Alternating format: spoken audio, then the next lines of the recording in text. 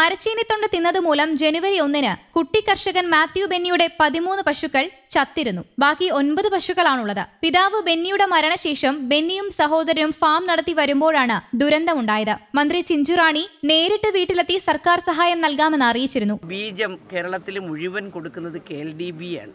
Kerala life stock development ബോർഡാണ്. ഇന്ന് നമുക്കറിയാം തൊണ്ണൂറ്റി അഞ്ച് ശതമാനവും സങ്കരയിനും പശുക്കളാണ് കേരളത്തിലുള്ളത്. എന്ന് പറഞ്ഞാൽ ഒരു പശുവിൽ നിന്നും പത്ത് പത്ത് ലിറ്ററിനധികം പാൽ കിട്ടുന്ന പശുക്കൾ. കേരളത്തിൽ മുപ്പത്തിയഞ്ച് ലിറ്ററോളം പശു പാൽ കിട്ടുന്ന ഒരു പശുവിൽ നിന്നും ഒരു ദിവസം പാൽ കിട്ടുന്ന പശുക്കൾ കേരളത്തിലുണ്ട്. അത് പതിനഞ്ച് ലിറ്ററുണ്ട് ഇരുപത് ലിറ്ററുണ്ട് മുപ്പത് ലിറ്ററുണ്ട്. ഈ നമ്മുടെ ഇടുക്കി ജില്ലയിൽ തന്നെ ഏറ്റവും വലിയൊരു കർഷകനുണ്ട്. ഒരു ഒരു ദിവസം ഒരു ലക്ഷത്തോളം പാലിൽ നിന്ന് ഉൽപ്പാദിപ്പിക്കുന്ന പണം ഉണ്ടാക്കുന്ന കർഷകൻ. അത് ഞങ്ങളെ കേരളത്തിലെ ഏറ്റവും വലിയ ഒരു കർഷകനാണ്. എനിക്ക് തോന്നുന്നു ഒരുപക്ഷെ ഇവിടെ വന്ന് കാണുമോ എന്ന് അറിഞ്ഞൂടാ. ഞാൻ കഴിഞ്ഞ ദിവസം വന്നപ്പോൾ ഇവിടെ എന്നോടൊപ്പം ഉണ്ടായിരുന്നു.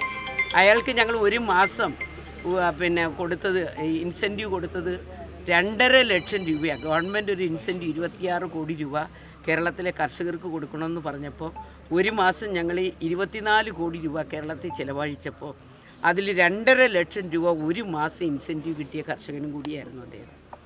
അപ്പം ഞാൻ അത് പറയാൻ കാരണം പാൽ ഉൽപ്പാദനം നമുക്ക് കൂട്ടിയെടുക്കണം. അതിന് എന്തൊക്കെ പശുവിന് തീറ്റ കൊടുക്കണം എന്നുള്ളതാണ് ഞങ്ങളിപ്പം ഈ കുട്ടി കർഷകന്റെ വിഷയം വന്നതിന് ശേഷം കേരളത്തിലെ നൂറ്റി നാൽപ്പത് നിയോജക മണ്ഡലത്തിലും പശുക്കൾക്ക് കൊടുക്കേണ്ടുന്ന തീറ്റകളെക്കുറിച്ച് അതിന്റെ ക്രമങ്ങളെക്കുറിച്ച് പാലുൽപാദനം വർദ്ധിപ്പിക്കുന്നതിന്റെ വലിയ പരിപാടികൾ ഇപ്പം നടത്തിക്കൊണ്ടിരിക്കും. അപ്പോൾ നല്ല ആഹാരം കൂടെ കൊടുത്തു കഴിഞ്ഞാൽ പ്രസവിച്ച് കഴിഞ്ഞാൽ നമുക്ക് എത്ര ലിറ്റർ പാൽ കിട്ടും? ഇരുപത് ലിറ്റർ വരെ മിക്കവാറും പോവും. നല്ല ഭക്ഷണം കൊടുത്താൽ ഇരുപത് ഇരുപതിന് മേളിൽ പോകും.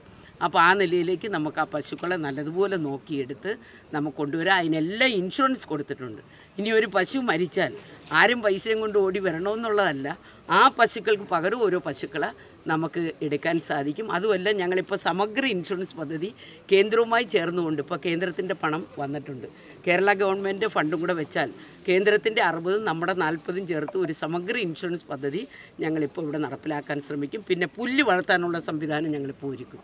ഇവിടെ എവിടെയെങ്കിലും സ്ഥലം അധികം കിടന്നാൽ കുട്ടി കർഷകന്റെ വീട്ടിന്റെ സ്ഥലമുണ്ടെങ്കിൽ അവിടെ നമുക്ക് പുല്ല് വെച്ച് പിടിപ്പിക്കാം. പുല്ലിന്റെ പുൽക്കാട ഉൾപ്പെടെ നമ്മൾ തരാനുള്ള സംവിധാനം തരാം.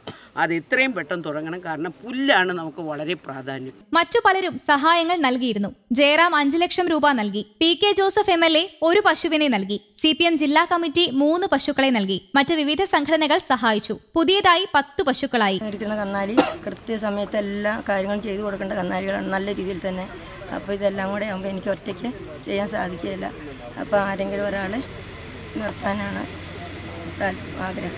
News desk Kerala Kaumudi